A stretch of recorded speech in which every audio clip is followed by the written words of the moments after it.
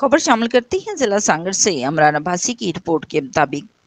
चोरी की मुख्तलिफ़ मकाम में मुलवस आठ मुलजमान गिरफ़्तार, लाखों रुपये मालियत का माल मुसरका बरामद।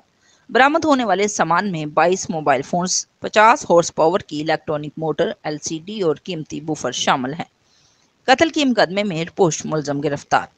तफसीत के मुताबिक S S P Sangar, captain Saddam Hussain के अहकाम पर जिला भर में जराम पेशा अनासर के गिरद घेरा तंग कर दिया गया है।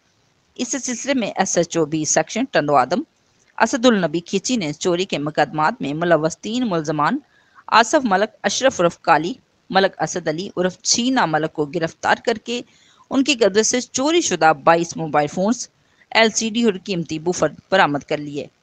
S H O Sangar inspector Sanaullah ने चोरी के मुकदमे में मतलूब मुलजम नबी बख्श कासकली, रियाज शेख मोहम्मद उमैर, आशिक चंडू और हुसैन बख्श बरोही को गिरफ़्तार करके उनके कब्जे से 50 हॉर्स पावर की इलेक्ट्रॉनिक मोटर के अलावा दीगर सामान बरामद कर लिया। एस एच ओ संजूड़ू अब्दुल मजीद अराई ने कत्ल के मुकदमे में रुपोश मुलजम गुलाम हुसैन उर्फ़ गोशु मरी को गिरफ़्तार कर लिया है।